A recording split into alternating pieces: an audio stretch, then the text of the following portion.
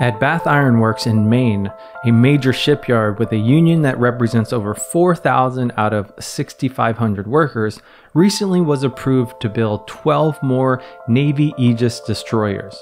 Bath Iron Works, or BIW, is owned by General Dynamics, one of the world's largest weapons companies. Phoebe Novakovic is the CEO and made over $21 million in 2022. Why does the US military need 12 more destroyers? And where will they be going? Welcome to the Global Network. Please support us by clicking the like button and subscribing to our social media accounts to stay up to date with our content. If you want to go further, consider joining our organization by visiting our website, spaceforpeace.org. The destroyers being built at BIW will be equipped with hypersonic missiles, once fully developed, and are part of the Aegis Ballistic Missile Defense System, a program developed to provide a shield against short and intermediate range ballistic missiles. The entire program is part of the US National Missile Defense Strategy, as well as the NATO Missile Defense System.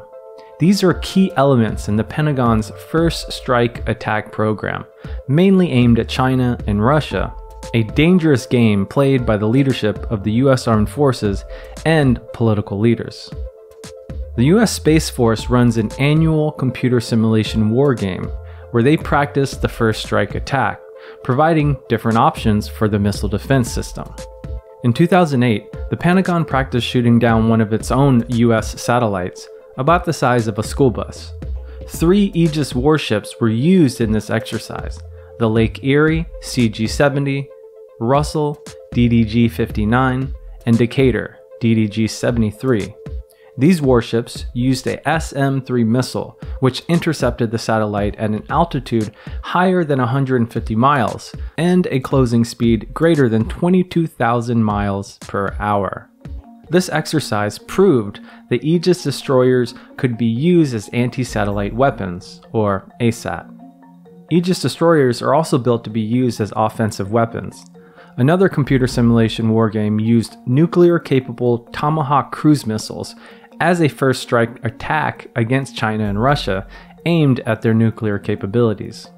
These simulations show that the Aegis warships have the capability to be used as both an offensive and defensive weapon.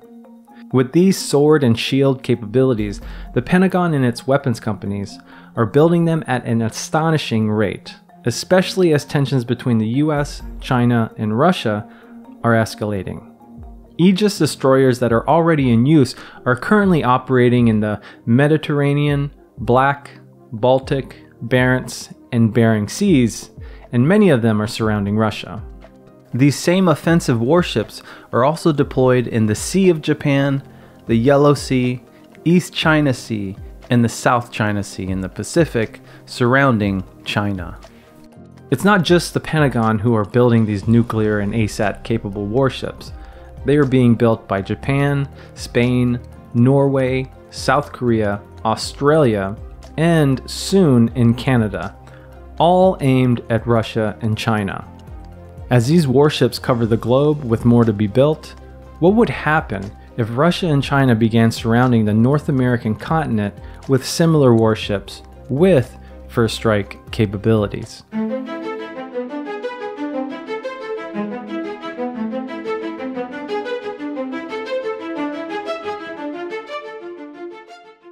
The global network against weapons and nuclear power in space has been fighting against US wars of aggression with a particular focus on space since 1992.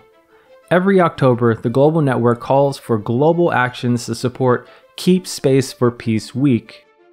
In 1999, the United Nations General Assembly declared that October 4th through 10th every year would be designated as, quote, World Space Week to celebrate the contributions of space, science, and technology to the betterment of the human condition. We ask people to recognize this as a time to keep space for peace. Each year, the Global Network provides a poster for use to highlight the week of actions and posts a list of the actions organized by our members. We ask all activists and organizations to join us this year during the week of October 7th through 14th to organize meetings, panels, and other events to protest the militarization of space and to keep space for peace.